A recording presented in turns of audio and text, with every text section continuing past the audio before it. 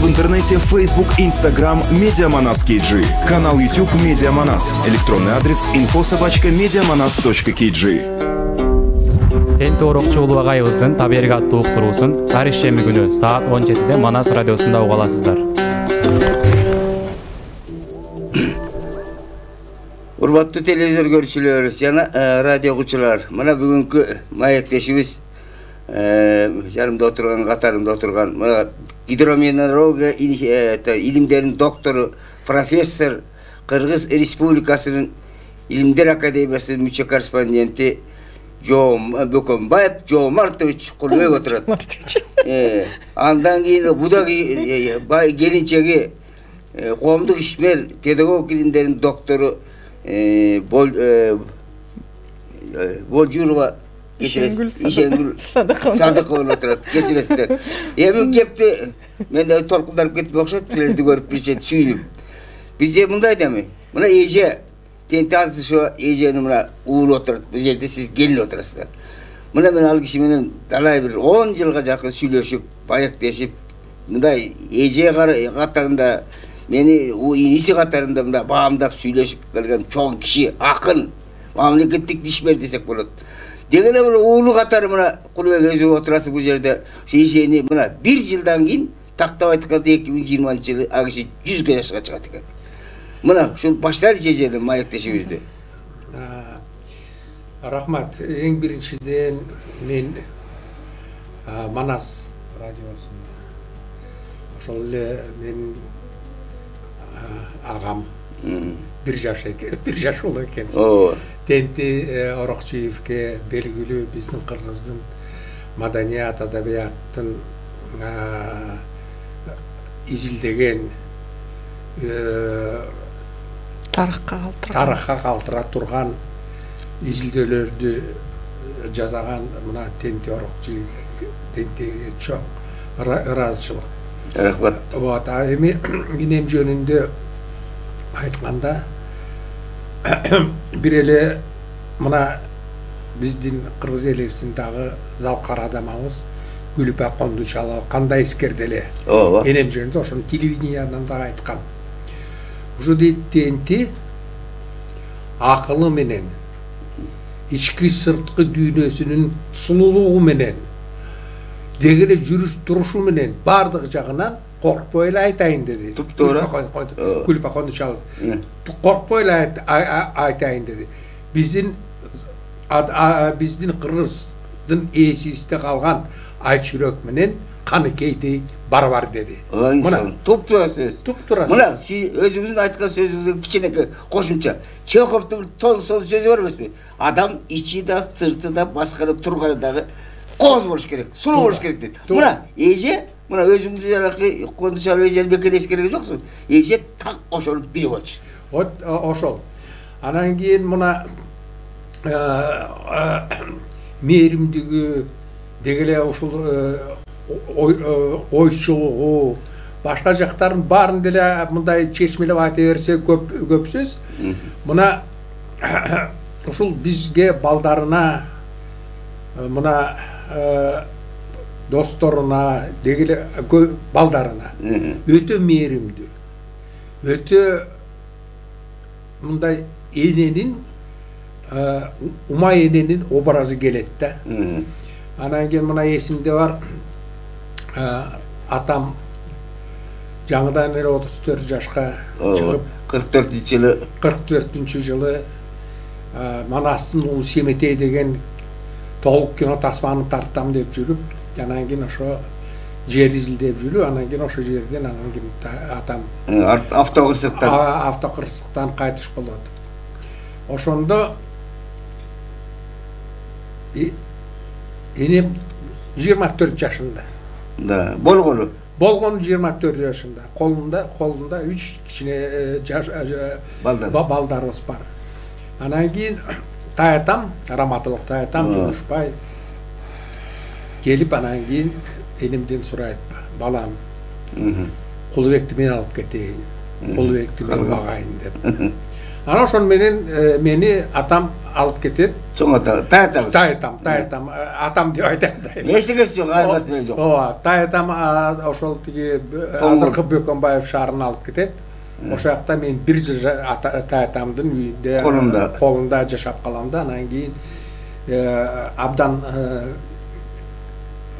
энемди карындашымды инимди тайнемди сагынган окшоймун ошол тиги ошол ойнатып эле бул энем бул сырга бул зайниш деп эле ойнатып турмун да анан кийин өзүнчө эле кобурай берет да да ооба анан кийин таятам кой болбойт экен жеткизейин жеткизейин деп анан кийин рыбач ошол жерде балыкчыга атын минип алып мени учкаштырып алат балыкчыга алып келет анан кийин ошол жактан түнү менен жанагы товарный вагондор бар эмеспи ооба ошого тиги мени экөөбүздү ошо вагонго келип анан кийин иши кылып көп сөз кандай жүргөнүбүз бишкек фрунзага келебиз эми могу жерде бир тай атаңызды эскерип калдыңыз мен бир ушундан улам бир тай атаңыздын ушунчалык соорундугу жөнүндө мына ал киши менен өзүңүз билесиз менин аягым бар эже менен тент эже менен. Ооба ошондо айтып атпайбы жанакы отуз биринчи жылы бөкөнбаевден чыгып атып кольцовкадан чыгып аткандан анан эптеп бергиси келбей атып эптеп анда өзүнчө сөз аны баарын айтып отурбайлы анан жок бай жунушбайдан бир гана аласың сени өкмөткө совет өкмөтүнө каршы экенсиң десең дебесең бербейт кызын дептир да анан ошентип алып чыккандан кийин анан бөкөнбаевден чыгат артынан артынан араба менен тиги ичинде артынан ээчип келатат да анан тиги экөө араба менен тиги энеси дагы апасы да экөө келип азыркы тиги азыркы бүркүт айылына чейин келген го ээрчишип келет да андан кийин келип эле кайра кетет ой кетпейсиңер мен биз кетебиз ылдамдап десе анан бир убакта эле кеткен дейт бирок көк сайга түштөшүп келсе эле баягы акчага чаап келатат дейт эмне бирдеме унутуп калганго деп келсе күйөөсү кызын бир өөп койгону келиптир дейт мына эскерүүсүнүн өзүнө эскерүүсү бар мына ушул сыяктуу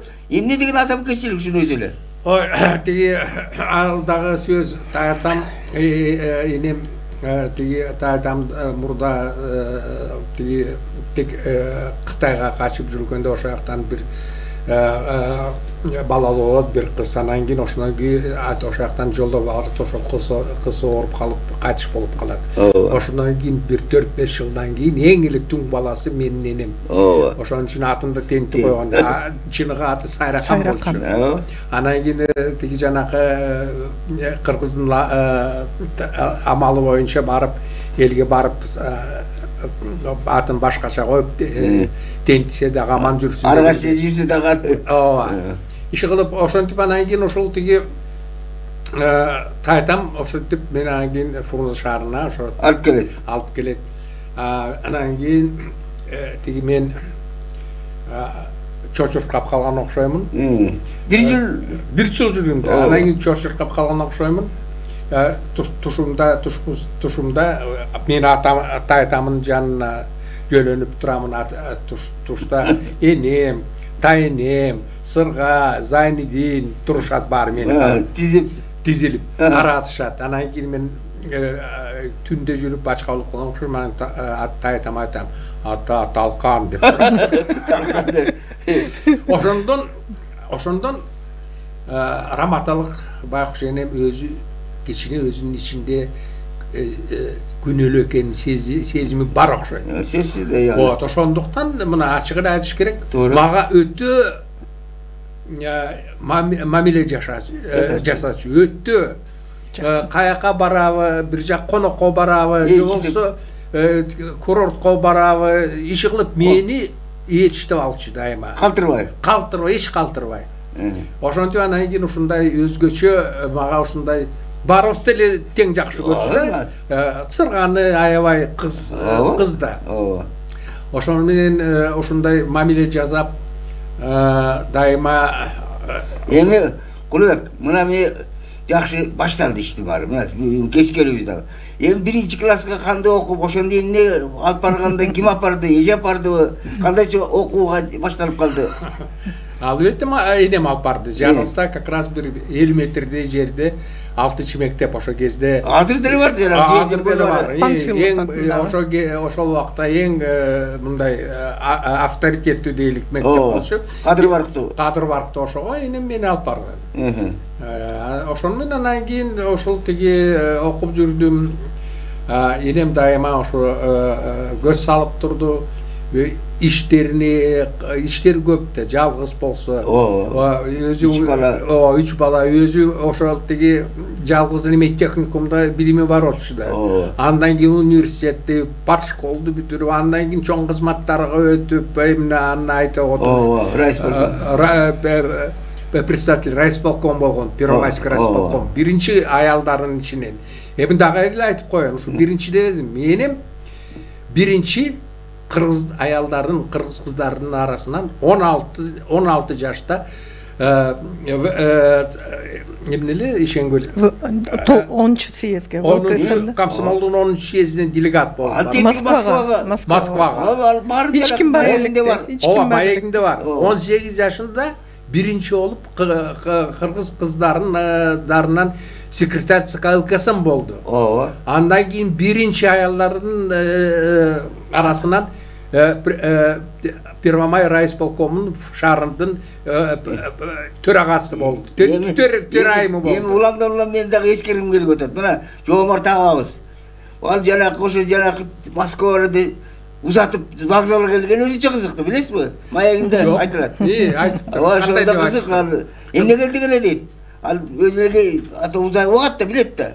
Анан тиги эже атпайбы ойлобосо эми ойлогондой эми эмне келди эне дегендей кылат да ой сени узатайын деп келгем деп тамаша кылып атпайбы улай берсеңер ана падиши кылып ошондой өтө татаал энемдин өтө татаал жол болду себеби мына айтпадыкпы ички тышкы сулуулугу акылдуулугу таланты менен ушу биринчи орунда турган аялзаттардан болгон да анан кийин кыргыздарда көрө албастык деген эми баары эми эми анын баары менен ошонун баарын чыдап дайыма ушинтип өсүп турду да эми кайрадан жанакы эскерүүгө келейин. Ушул дагы бизге ошо энеси эне мээримдигин төгүп тургандан кийин өзгөчө эми ар бир адам үчүн эне деген ыйык нерсе башка да башкача башка башкача болот бирок менин энем жанагы көлүп акамдычалык айткандай анан кийин ушунчалык өзүнүн мээрими мээри менен бизди сүйүү менен биз дагы ошондой эле энебизге мамиле. кылышыбыз. Просто энебиз биз биз ыйык ыйык кудай болчу да. Анан кийин мына бул дүйнөдөн кайткандан кийин өтө бир жаман болду эми ыйладык эми туура жөн эле ушул көл шал болуп ыйлааттым мисалы мен сыргап дейм ошондо бир улуу биздин адамыбыз айтты да аял айтты ой ушу балдарга кичине суугураак мамиле кылыш керек экен себеби эң тентидей мамиледи кылса балдардын жүрөгү кеткенден кийин жүрөктөрү өтө оор болот экен. А мындай кичине мындай суугураак суугураак эметсең анда балдар андай кичине да. ыйлабайт экен дегендей.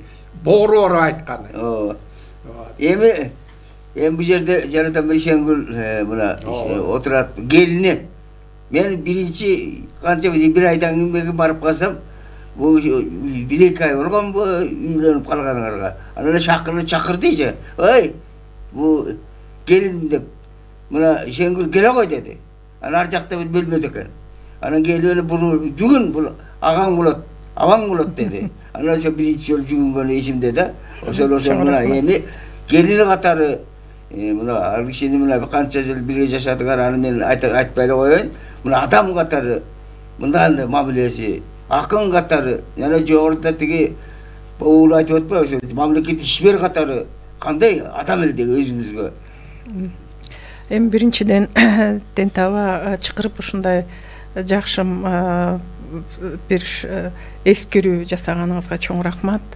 Анткени азыркы заманда көп эле башка проблемалар башка көйгөйлөр пайда болуп атат. Анан келечектүү рухий маданиятыбызды көтөрөлүк десек биздин тарыхыбызга кайрылышыбыз керек. Анткени ал кыргыздын тарыхын бул атактуу улуу инсандар түзгөн.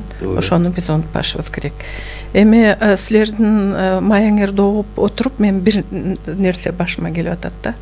Таланттын сыры эмнеде деген суроо. Ооба таланттын сыры эмнеде эмне үчүн кээ бирлер оорчулук болгондо сынып калат? Эмне үчүн кээ бирлер кандай оор болбосун турмушу? Бирок ошого чыналып белин бекем бууп бул турмуштун көп азап тозокторуна туруктуулукту берет. Бул эмнеде жатат? Эмне ошонун өзөгү эмнеде деп ойлогондо мен ойлойм да мына кулбек жомартович айтып кетти таятасы жөнүндө өзүңүз билесиңиз сиз дагы апам менен көп сүйлөшкөнсүңүз. Менин оюмча бул кемде болсо керек көл анан жашаган жеринде көлдүн чалкайган көлдүн ырыскысы бир шумдуктуу аурасы атасынын деле атасынын энесинен келген байгелди чоң таяталарынан келген жунушбай атасынан келген чоң таланттар. Анткени адамда кем болбосо анда бир баягы чымыны болбосо мындай атакка мындай таланттуулукка мындай философиялык көз карашка мындай туруктуулукту бербейт деп ойлойм да. Мына сиз айтып калдыңыз тиги баардык жагынан келишкен.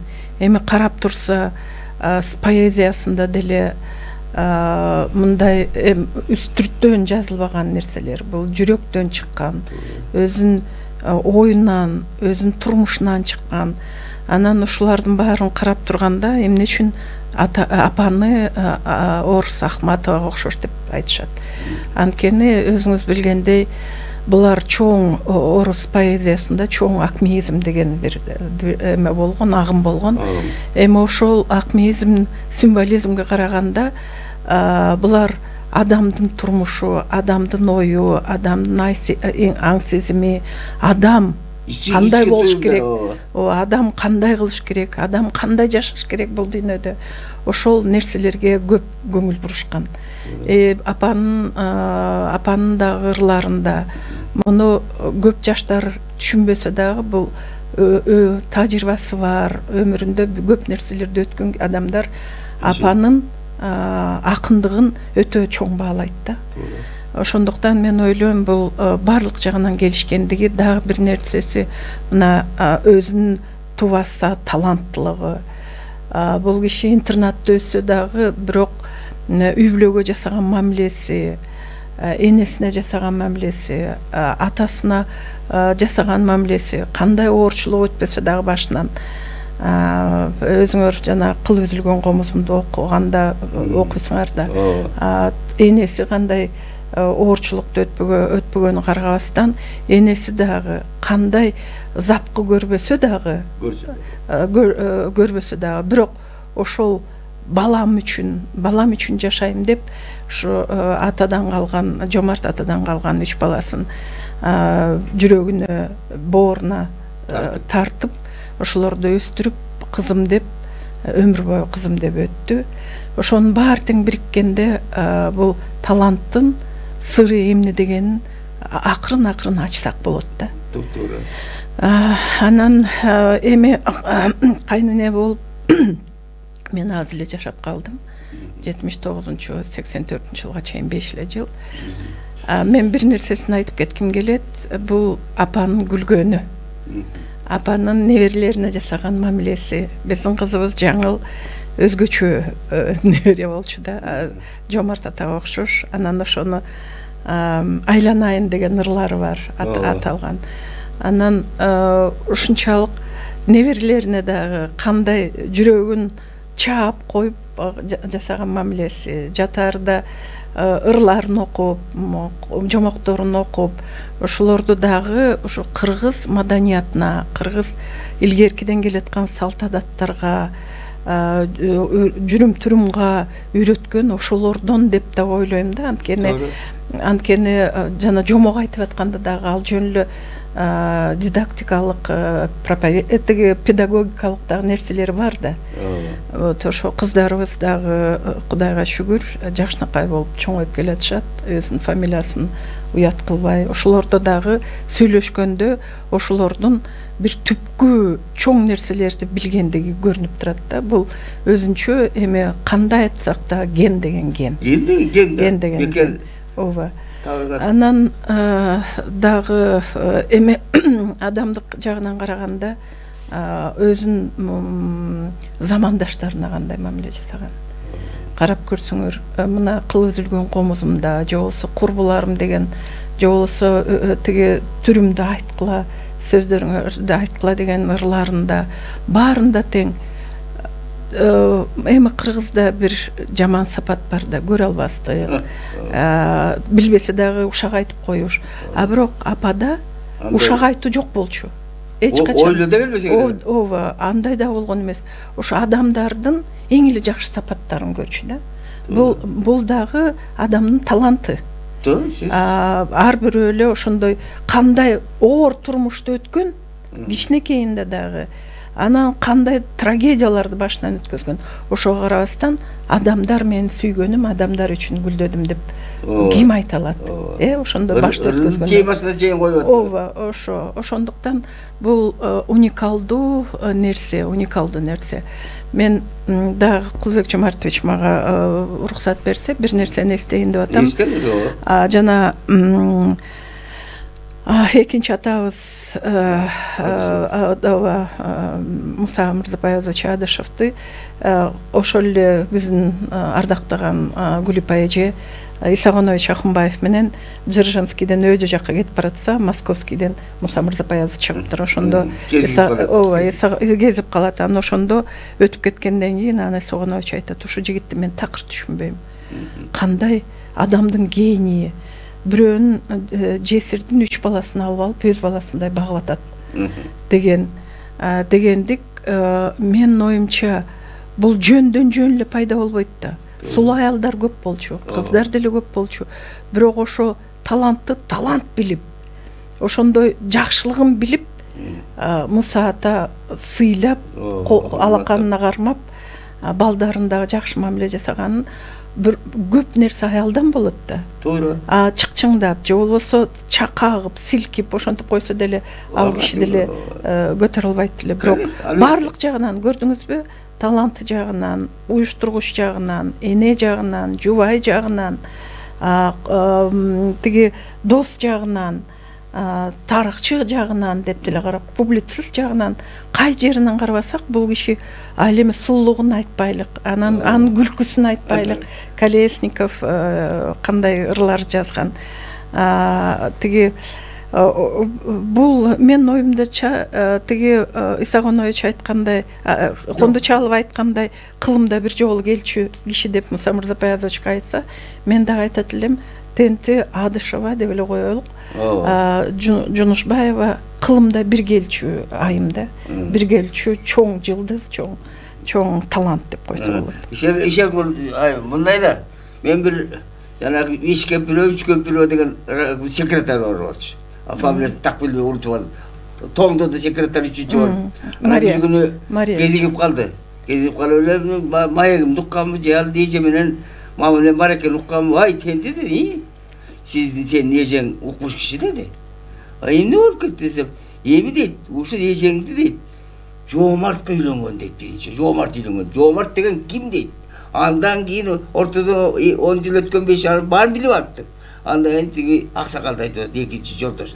мына ушул эки залкардын жары болуш деген эмне деген тамтык деди мына ушул сөзмө сөз мен тиги кошкон сөзүм жок кебитип да койсом болот жакшы экен ошону мен жакшы эскерме айттың тиимди мына мен ушул учур менен пайдаланып ишенгүл жөнүндө айтар элем да тиги үйлөнгөндө мына экинчи атабыз мусамер чадышев бир күндөн кайтып болду ошондо айткан кулубек кой турчу кичине мен азыр академияны туура жолго салып алайын. Жаңы эле иштеген жаңы эле иштеген ооба. Академияны туура жолго салып алайын. Илимди деле. Андан кийин ошо тиги бир эки айча күтүп тур андан кийин сенин тоюңду өткөзүп берем деп. Ооба. Ошондо айткан бирок тилекке каршы арман армансыз дүйнө болбойт экен өтүп кетти. Анан ошондо тиги биз катуу келип туш келип үй бүлөсү эрем эртең кечке ыйлап ушундай чоң бир жоготуу болду да. Туура мына мына жана айтып атат кандай гана жолду эне өткөн жок анан кийин ушул тиги академиктин жубайы болуп ошондой экөөнүн ортосунда эң жылуу мамиле болгондон кийин анан кийин бир убакта эле жоготуп койсо көрбөйсүң экинчи чоң жоготуу болду энемдин өмүрүндө туура жанагы үч үч кылы кылы жүргөн комузум деген эмеде эки кылы бир кылы жоомарт атам экинчи кылы экинчи атам муса атам калгандан кийин ошону мен бир коозумдун бир кылын чертип отуруп калдым деген ушундан чыккан да анан кийин мына мен айтар элем мына ишенгүл ошол учур менен пайдаланып мен ишенгүлгө ыраазычылык айтайын. Себеби мына о бул президент академик президенттин келини эме келинчеги? Жок келини ой бул эл акын адышеванын келини деп бир дагы ошону көргөн жок. Келгенде биз аза күтүү учурлары келди. Туш келди. Ошого карабастан ушул баарын чыдап эртең менен иштен келип эртең менен эрте туруп энеме чай кайнатып берип туура тамак түшө чуркап келип тамагын берип кечинде дагы тамагын берип иши кылып ошол ишенгүл ошол жакта чимирилип жүрдү эмгек эмгек анан ошону менен ошого анан кийин мына ушу мен айтар элем ишенгүл мынтип айткан айтканы бар мен дейт эки мен менин турмушумда эки университет дейт биринчи мен москвадагы мгу атактуу мгу университетте университетте аспирантураны мен бүттүм экинчи мени мен үчүн чоң университет менин кайненем болду болду деп ушуга күнгө чейин айтып жүрөт анан кийин мына ачыгын айтыш керек. Мына атам жоомарт атам муса энем энем боюнча көп маек болот. Ушу бүгүнкү маекке окшош. Мурда деле болгон. Болгон көп болгон. Ошондо кээде мен чынында чындыкты айтыш керек кээде айтып койчу болду чарчадым. Эми мына кырк жылдан бери мен ушу атамдын энемдин эмнеси эскерип келатам эскертип мурасын. Жок мурасын сактап келатам мен чарчадым келчи менин иштерим көп. Илим жагынан иштейин деген ошондой ишиңе жок антеш керек. Антеш жүр кеттик деп ээрчитип алып күчкө күчкө салып алып мына бүгүн деле ишенгүл дагы ой барабыз сөзсүз сөзсүз барабыз деп ушундай ошого мен ыраазымын рахмат. Ыраазымын анан кийин ушул тиги ал эмес ишенгүлгө арнаган кечиресиңер балки бул баары бир бир бир үй бүлөбүз да бир рух дүйнөбүз тиги атактуу биздин эл акыны гүлсара момунова гүлсара момунова ишенгүлгө көп ырын арнап ошондо айткан.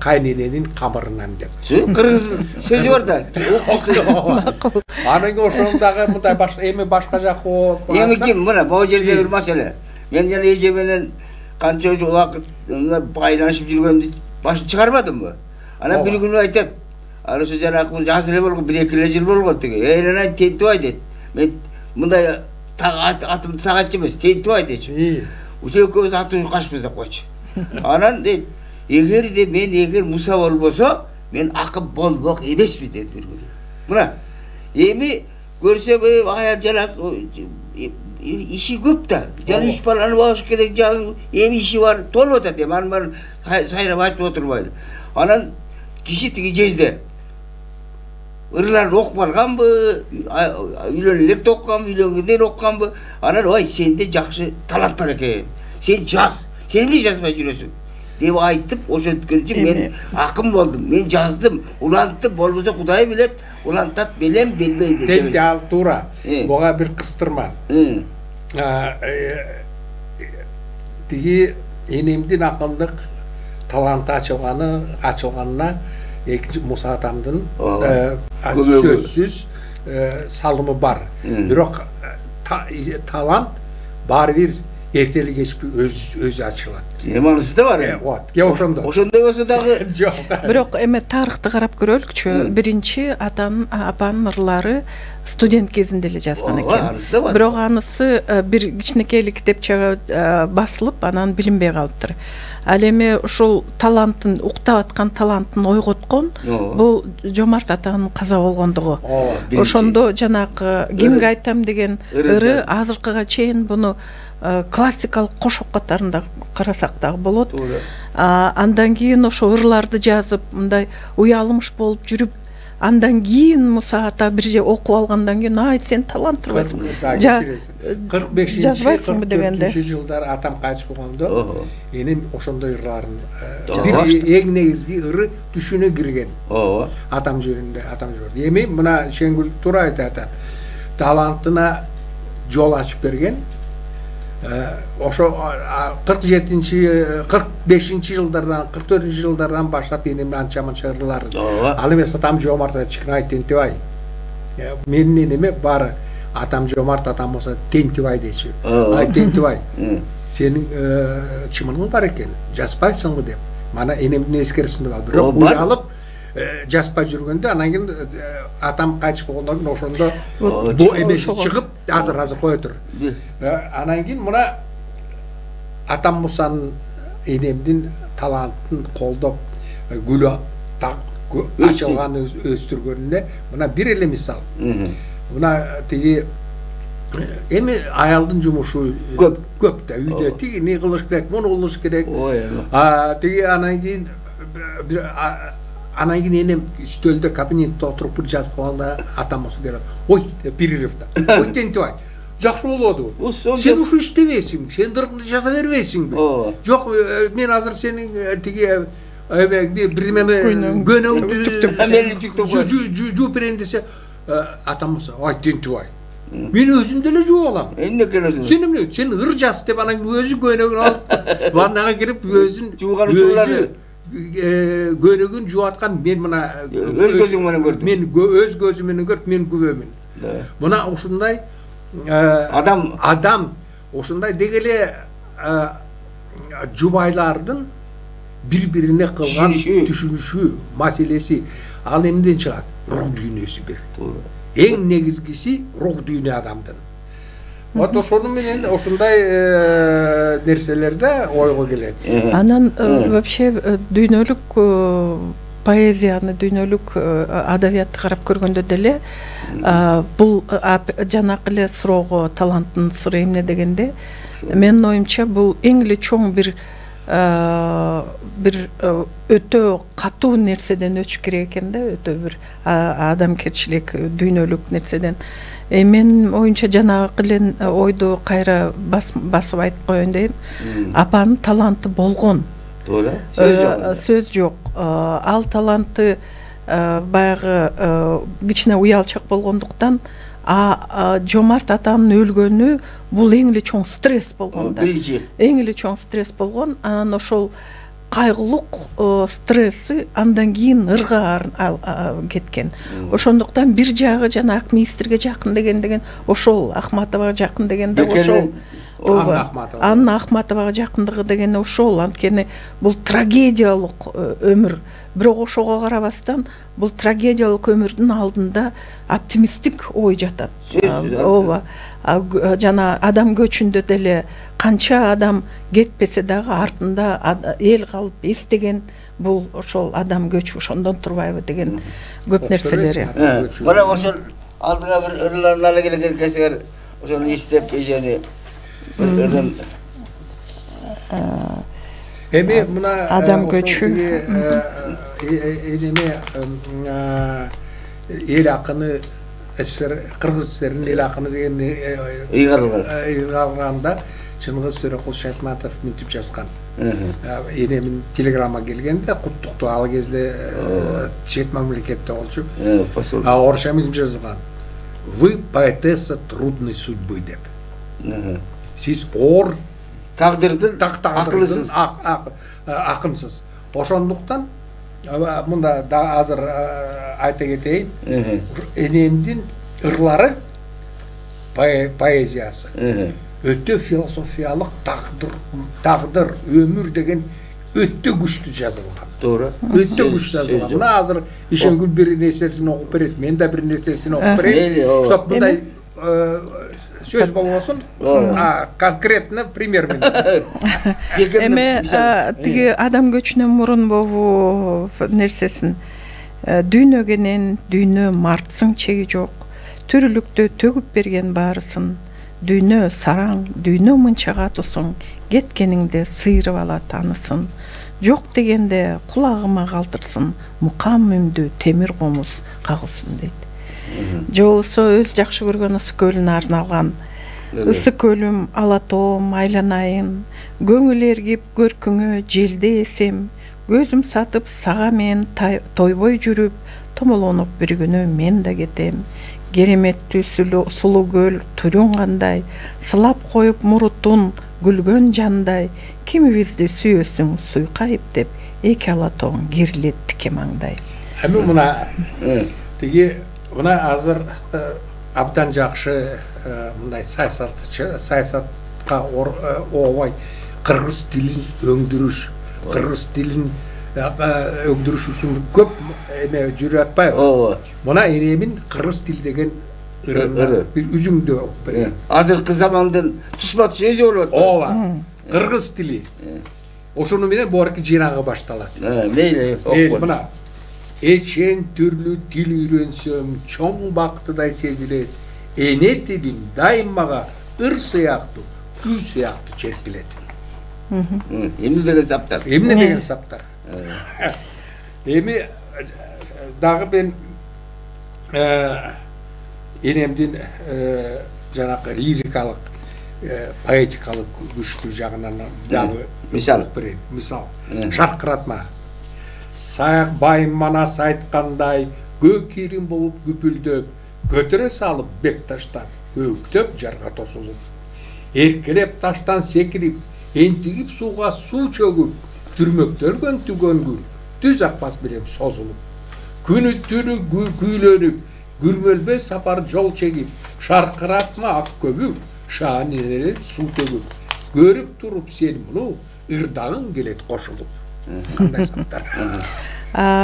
жана аял жөнүндө аялдар жөнүндө айтып калбадыкпы ооба. Аялдын жүгү кандай?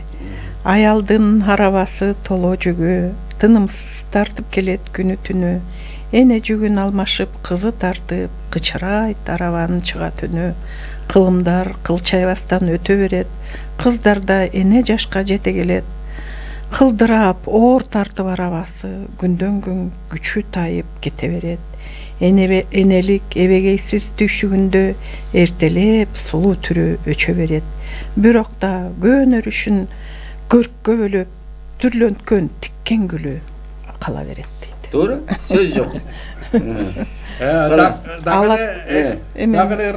мейли ооба ырдарынан мына чыңгыз төреқұлович айткандай вы поэтесса трудной судьбой сиз оор тагдырдын акырысы деп ошондуктан мына ушунчалык эремдин тагдыры жолу ушунчалык татаал болгон бир жагы татаал бир жагы бактылуу десек туурабы ошондуктан энемдин философиялык ырлары өтө күчтүү мына мисалы бир эле адам көчү деген ыр бар. Ошону бул терең философиялык ыр. Муну муну ойчул философ философтор ойга жакын да мына мисалы залкар философтордун келип адам кайрадан кетет көчүп калгандары кайгырат кошок кошуп көчтү улайт адамдар кылымдарга кара килем жабылат кызыл нарга аза көчү чиркелет нарга окшоп жетип тынар мезгили барга окшоп тынбай мезгил жарышат көчтү коштоп жетип тайлак желпилдейт улам боздоп жакшы тура адамзат жалпы көчпөй аяк алып калганы көчтү узаткан мезгил учса байкабай берекелүү бала төрөп бапарап той уланткан ооба ошондой эле тиги шүйдүрүм деген ыры бар. Ооба ошондо шүйдүрүп мен ну проза жағынан айтып берейін жоқса бір жерде бар шүдіріммен айтып қойған мен егер ертең менен шықсам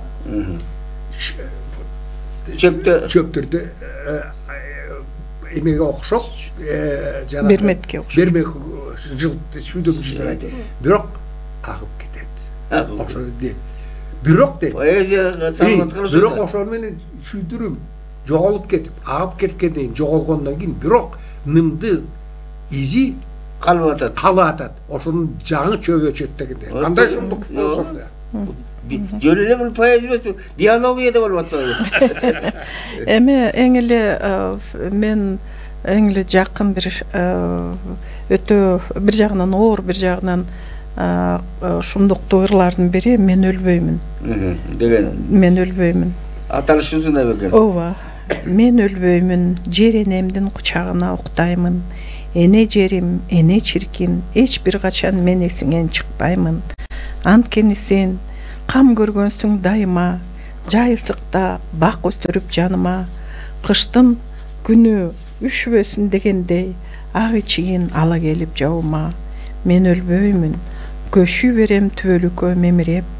Айланчыктап бейитиме желин жүрөт желбиреп булбул сайрайт мукам үнүн чыгарып күн да чыгаар эртең менен кызарып.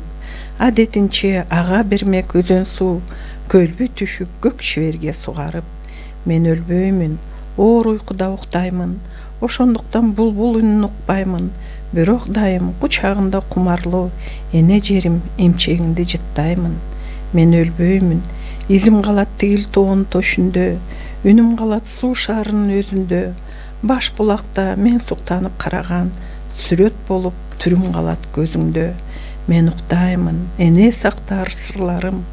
Эртелгеч эсине алар кырларың баарынан да окур бекен курдаштар аздыр көптүр арнап жазган ырларым ой жакшы дагы эми ушуну дагы мен улантайын ошо анан кийин өзүң дагы кандай суроо болсо мына энемдин бир укмуш ыры бар ажалыңмын деген мына биз адамдар ажалды кандай сезебиз бул түрү суук бир бир адамды ажыдарды салыштырып страшный өлтүрөт а энемдики башка көз караш мен ушуну ушул ырды жазгандан кийин мага окуп бергенден кийин мен таң калдым себеби биз ажал дегенди түшүнбөйт экенбиз чын чынына келгенде чын чынына келгенде а мына энемдики кандай кандай айтылган ажалыңмын чочуп ачы өзүңдөн сен курбуңмун өзүңө жашым да тең бул дүйнөгө төрөлүп өзүң менен кашыңдан карыш жылбай келемин мен сен чочуган өлүмдөн мен да чочуйм анткени өзүң менен кошо кетем кырсык илдет каршылык жол тоспосо сен көксөгөн марага мен да жетем ушинтип өмүрдүн дайрасын биргелеш кечипмин душман деп чечипсиң билсең өмүр баяныңдын аягына коюлар бир гана карарган чекитмин абдан мыкты экен муну кайсын тиги давид кугультинов айтканын айтып берсең ушул жердеби ооба ушул жеринде ооба мен тиги бореки ушул беле ой толгойдон китеби орусча варианты орусча варианты бар жакшы которулган да анан кийин ошондо сссрдин жазуучулар союзунун акыркы съезди өзүң билесиң биякта фрунзеде өткөн. Ооба ооба бишкек беле ошондо? Фрунзе анан ошондо жанакы энемин орусча мыкты жазылган котормону мындай кичинекей китепче анан кийин мен ошондой эмне болсо ошо болсун деп анан кийин тиги кимди давид кугулчиновду өзүңөр билесиңер кармак ооба ооба чоң социалисттик батырына чейин жетти ооба ооба эл акын анан кийин мен алар ошо кичинеси кыргызстан бар эмес мейманкана ошол жака барып азыр хаят эшигин какылдатып кирдим да анан кийин давид когултинович менин энем ушундай жазуучу эле мына сигнальный экземпляр чыккан ушул сигнальный экземпляр орусча жазылган которулган которулган ошону тиги окуп коюңуз окуп коюңуз деп бердим вот анан кийин а макул окуп барайын деди өзү мындай өзү анан кийин эртеси дагы келдим номеринде экен анан кийин айттым ой деди жөн эле эметип айтат кадимкидей ой менимче ушундай чоң акынды билбептирмин ушуга чейин ушуга чейин менимче билем чоң акын турбайбы? Чоң акын турбайбы деп улам улам кайтарат улам улам кайтарат. Анан мен айтайм менин энем ушундай кысканчаак анан кийин өз жөнүндө эч качан мындай жулунуп көргөн эмес. көргөн эмес. Ушундай десем о чоң акын экен чоң акын экен анан кийин мен айттым эми жагы сигнал экземплярды мага бериңиз сигнал экземпляр болчу дооладым да анан айтты ой дейт мен дейт окуп алгандан кийин бербейм жок башка жазуучулар менден сурап алып жата калып окуп атат деп ушуну айтты да туура россиялык россиялык башка жактан башкалар чоң чоң акындар келген ошолор да дейт анан кийин айтам макул эмесе кечинде келип алып калайын алып кетейин экен чартырып саят түшүп эми тиги ойлобоптурмун макул окуй бергиле тияктан да тапкыл дегенге акылым жетпептир эми ушул жерде тентаба бир нерсени айтып койгум келет да орус орусча которгон бул терракелян светлана терракелян деген россиялык жазуучу поэтесса болчу. Анын жакшы которгондугу эмнеде эмне үчүн сыр эмнеде? Эмне үчүн жоомарт атанын орусча которгондору такыр жүрөккө дагы сезимге дагы жакпайт? Ата жок орус тилинде.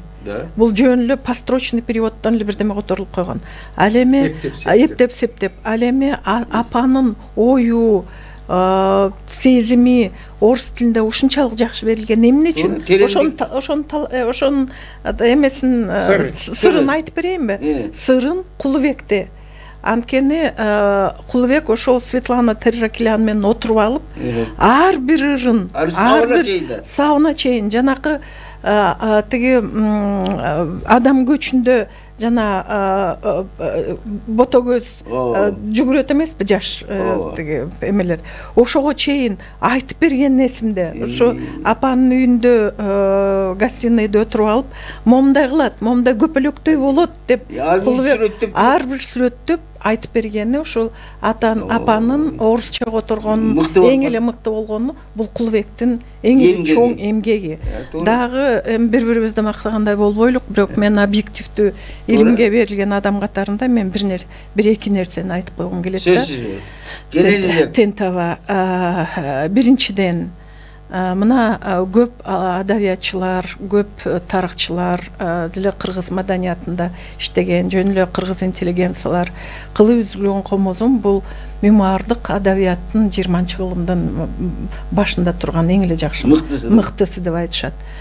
Мунун тагдыры эмнеде кулубек көп жылдары ушу апа сен көп нерсени айтып бересиң ушу жазсаң жазсаң деп жаздырып жаздырып жүрүп анан сексен төртүнчү жылы он тогузунчу апрелде кеткенде ошол кол жазма боюнда эле калган. Менин балдарым кичинекей бир кызыбыз бир жашта эле төрт башкалар деле билбейт эле. Туура ошол кол жазма баягы архивде жатып калып эле чычкан жейби эмне жейт ошондуп калып калган. бирок кулубектин эне сүтүн аткаргандыгы менин оюмча тиги инсан катарында жолдош эмес инсан катарында айткым келет. Ошо эне сүтүн аткаргандыгы кыргыз баягы ичинде гени бардыгын ошо ичинде өзүнүн таланты бардыгын менин оюмча ошол апасынын кылы үзүлгөн комузумду машинкеге басып редакторлор менен иштеп анан сексен алтынчы жылы чыгаргандыгы бул балалык баатырлык деп айтам да. Бир жагынан да да бир жагынан экинчи жагынан жөн орус тилде өскөн бала муну эмне кылам деп койсо деле болот дейм да. Бирок ошонун энесин сүйгөндүгү энесинин талантына баш ийгендиги ошол тагдырды ошол заманды эл билсин деп китеп катарында чыгарганы менин моюмча инсандык өзүнчө баатырлык деп ойлойм. накта уулдук анан экинчи нерсе. Экинчи нерсе көп айтылбайт. Эки үч бир нерсени айтып койгум келет. Бул тууган суугандар деле билсе билет билбеген билбейт. Экинчи нерсесин айтып коеюн. Токсон төртүнчү жылы элүү жыл ата каза болгондон кийин элүү жыл өткөндө өзүңүз билесиңиз. Биринчи июнда бул жердеги атактуу адамдар менен сүйлөшүп министерство оборона менен сүйлөшүп атасын баягы билбей калган көрстөндөн бул аларча көрстөнүн алып келген кулубек эле. Өзү мүрзөгө түшүп кепинге кепинге салып ороп ошо алып чыгып өзүнүн айылына жеткизген. Бул дагы менимче балалык эрдик эрдик разаковдон мурун разаковду москвадан алып келерден мурун биринчи кыргыздардан ошо кулбек неметилген экинчи үчүнчү нерсеси мына өзүнүн ата энесине жасаган баатырлыгы мамилеси. Муса атага э, менин эсимде ошо кирс э, өтүктү кийип алып жана фуфайканы кийип алып ала ала алайдын чоң тоосуна барып ошол жерге тиги муса адышевдин пик аталган. Ошол пикке чокуга. Ошол чокуга жанакы памятный эмени алып барып койгондугу бул бир. Экинчи бүт муса атанын замандаштары коллегаларынан эскермелерди чогултуп ошо биринчи китепти кыргыз чыгарган. Адышев тиги основоположник кыргызской геологической науки деген эки жолу китепти чыгарды. Анан менин эсимде апам көп айтып калчу чогуу отурганда. Айланайын кулубек ушу токмок менен эле э, фрунзенин ортосуна буту э, неметип калды. Анткени ошо муса атага жанакы көрстөндө турган памятнигин күн түн дебей тыйынын аябай өзүнө машина алам деген тыйынын дагы кошуп ошо көрстөндөгү эстеликти койгон кулубек ошондуктан туугандар дагы. Ооба ошондуктан туугандар дагы тааныштар дагы. Баягы кулубекке менимче ыйык мамиле жасаш керек деп ойлойм да. ыйык мамиле. Эмгекти баалаш керек. ада ошо баягы үй бүлөлүк традицияны улантып. ошону жөн эле койбой атасын атын неметип эле төргө отуруп алып устукан албагандык эмес. Бул ошонун рухий маданиятын рухий байлыгын рухий э, мурастыгын алып келгендик бул менимче бул чоң инсандык э, бир э, сапат да ошондуктан мен аябай ыраазычылыгымды айткым келет анан эми башка жака өтөлүк жок азыр мондай бир бири бирибизди мактап жок мактаган жерибиз жок жакшы эле жок мактаган жерибиз жок анткени адамдар коом билиши керек кимдин кимдин салымы кандай экен? Ошол эле кылы үзүлгөн комузумду биринчи кулбек чыгарган. Гонорарлардын баарын туугандарына өткөзүп берип экинчи экинчи китебин эки миң үчүнчү жылы мен чыгаргам. Үчүнчү жолу өзү кайра редакторлоп үй бүлөбүздөн каражат бөлүп өзү отуруп алып кайра рукопистен кайра карап чыгып кадимки үчүнчү жолу чыгарган ошол. кеп мындай да бареки үчүнчү вариант чыгарган мындай да жана эки экинчи эки жолу чыгарганбыз да көрсө мага билгизбей туруп редакторлор өздөрү иштеп үзүндүлөрүн алып салышыптыр да өтө жакшы аны кайра цензура да эми эми мына мен жана тамашаладым өзүбүздү мактагандай болбойт мен мына азыр мына тенти биздин мен тынчсызданганы тынчсыздайт да биздин адамдарыбыз кыргызстанда өзгөчө жаштар рух дүйнөнү маданият адабият дегенди унутат эми билим жагынан алсак деги эле төмөн түшүп калдык биз ошону менен мына сен баштаган сен алып бараткан жумуш.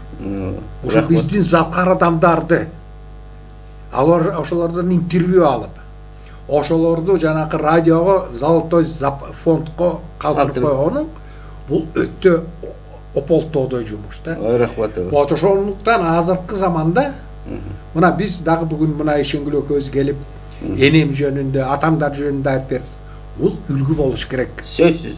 Үлгү болуш керек башкаларга жаштарга ошону менен эгерде биз азыр ушул ушул агымды кеңейте кеңейтип дагы эле дагы эле улам улам ушул жо баар тентенем мұса айса ақұнбаев темирқұл металиев сыдықбек жана башкалар башка биздин атактуу залкар адамдар адамдарыбыз адамдарыбыздын өткөн жолун билбесек болбойт да жеткизиш керекпиз туура ушул жанакы биз айтып атпайбыз азыр кыргыз элибиз тайгак кечүүдөн өтүп кечүүдөн өтүп атабыз коррупция уруу бандиттик эмне балекет угуп атабыз чачың тик тугат тик турат аны жаштар да өзүнө сиңирип алышып э туура эмне кереги бар акчаң болсо болду башканын кереги жок башканын кереги жок акча менен эмнени болсо сатып алабыз дегендей ушундай бир жаман идеология бар ушуну мына тенти өзүң баштагандай башка биздин ушундай адабият маданият ишмерлери ушуну дагы кеңейтип радиодонбу телевидениеденбу ай адамдар биз ушуну унутпайлык. Бул биз үчүн эл үчүн керек. керек. Бул рух дүйнөнүн баалуулуктарын. баалуулуктар. алтын эртең түгөнөт казып. Тигиниси дагы түгөнөт казып а рух дүйнөсү түгөнбөйт да. Түгөнбөйт. Бек бек эмеден муундан муундарға өтөт да. Муундан мына мен мына сиздерден жакшы сөз жарым ырыс деп бекер айткан мына мен деле ойлогон эмесмин. Мына биз түгөлбай менен маектешип жыйырма сааттар аштык мына азыр ал кишинин кайтып кеткенине жыйырма жылдар ашты. Кадимкидей сүйлөшүп үнүн угуп атат бул эмне дегени мына ошол сыяктуу эле мына мына ар биз деги адамбыз. Мына сексенге чыгабызбы токсонго чыгабызбы биз өтүп кеткенден кийин дагы жана балдар бар дейт угат да мына жанакы айтып аткан экөөңүздөрдүн айтып аткан эже кандай киши кандай акын кандай адам мына өзүңүз туура андан дагы улантайын жанакы сен жазган мына азыр ар канча изилдөөлөрчүлөр окумуштуулар адабиятчылар адабиятчылар тигини жазышат муну жазышат биздин залкарда тигини кылган муну кылган деген ал жакшы бирок боореки алардын түрү үнүн калтырыш өзү өзүнүн айткан сөзүн калтырыш бул деген өтө байлык да ушуну сөз жок ушуна ушунда сенин жашаган жумушуң ушундан чыгып атат туура бирөөлөрдүн жанагы приложение кылбай өзүнүн айткан сөзү болгон болгон эми биз чынында чынында эң эле кызык кылымда жашап турбуз жыйырманчы кылымдын аягы жыйырманчы кылым кандай залкар залкар адамдар менен ошол кулубек айтып кеткендей экинчи университетим деген эмне? деп айтылган анткени бул үйдө ушундай атактуу кол жетпеген адамдар менен кулубек дядя деп коет бирок. Түгөлбай сыдыкбеков темиркул үмүталиев кандай кандай гапар кандай гана шумдуктуу гүлүпай кондучалова ошондой кандай улуу адамдар менен жолуктук. Ошон үчүн мен аябай ыраазычылыгымды билгизем. Бул апанын тиги алдында дагы кулбектин алдында дагы. Эми мунун эң эле чоң сапаттары эмнеде биз ошол жанакы кээ бирде тарыхчылар азыр кичине баш аламандык болгондо тиги заман жаман болгон бул заман жакшы тиги заман тоталитардык болгон бул заман демократия деп атабыз. Ошону бөлбөшүбүз керек да. Бөлбөшүбүз керек. Анткени кыргыздын тарыхы үч миң тарых болгону менен биздин тарыхыбыз көп болсо бир бир жүз жылдык анык тарыхыбыз жүз жылдык. профессионалдык адабиятыбыз профессионалдык илимибиз поэзия маданиятыбыз пайда болгону көп болсо кылым калтырган. Ошондуктан биз эч бирөөнү чамбай тиги тигиндей экен бул мындай экен дебей ар бирөө апа эле ар бирөөнүн орду өзүндө. Мына мисалы бакты карап көргүлө. Ар бир неме өзүнчө шылдырайт өзүнчө. Ошондуктан үн чыгарып ошондуктан ар бир адамдын өзүнүн орду өзүнүн тарыхта орду бар өзүнүн адабиятта маданиятта орду бар. Аны кемитпей ошондой бир өз ордуна коюп мына олжас сүлейменов өзү айткан кулбек жомартович көп айтып калат. Майда эл өзүнүн улууларын дагы майдалатып коет деп. Ал эми улуу эл өзүнүн кичинекейин дагы улуулукка көтөрөт деп. Ошондуктан биз дагы биздин балдар дагы мындай өсүп бараткан көп жакшы балдарыбыз бар жаштар бар. Ошондуктан могу э, жыйырма биринчи кылымда кыргыз элибиз майдаланбай ушак аянга берилбей баягы фундаменталдык нерселерге берилбей ошондой бир өзүбүздүн атактуу адамдарыбызды колубузга салып ошолорду идеал катарында ошолор рухий баалуулуктар катарында көрүп ошолорго таянып өскөнгө тырышышыбыз керек. Туптуура эми сөз сүйлөсөк көп эле болчу да менин бир топ суроом калып калды. Ошондой болсо дагы бир саатка чукулдап калды. Урматтуу телевизор көрүүчүлөр бүгүнкү маектешибиз жараттан бери сиздер угуп отурасыздар кулубек бөкөнбаев жоомартович мына илимдин доктору кыргыз республикасынын илимдер академиясынын анык мүчөсүнөн аз эле калды тамаша сөз бура сүйлөгөн андан кийин биздин карындашыбыз эртеден бери эскерип отурган тейин теженин келини келини суу кошпогон келини да мындайча бура сүйлөгөндө мына чоң ким ишенгүл болжурова тиги атаңы сыдык садыкова садыкова деп коелучу садык кызы эми сиздерге эртеден бери жакшыракка маяк курдуңуздар эженин арбагы колдосун мына бир жылдан кийин тактап айтканда эмики эки миң жыйырманчы жылы эже жүз жыл токтолот экен ага чейин аман андан кийин дагы бер жагы эженин жашы эмес мына жүздөп жашагыла ден соолук эстегип тургула эски өзүңүздөр айткандай барбы ишенгүл карындашым айткандай мына азыркы заман дәбір өзүнчө сонун заман мына ушундай заманды биздин балдар окуулары тукулары көзсүн чоң кишилерди чоңдой баалап коелу мына бүгүнкү ошонун бир иши рахмат. Сизге дагы аманчылык батаңыз бизге бизге кыргыз элибизге кабыл болсун рахмат. Следует. En başka şey zor. Tabii Erik. Tabii Erik. Радио, радио Манас.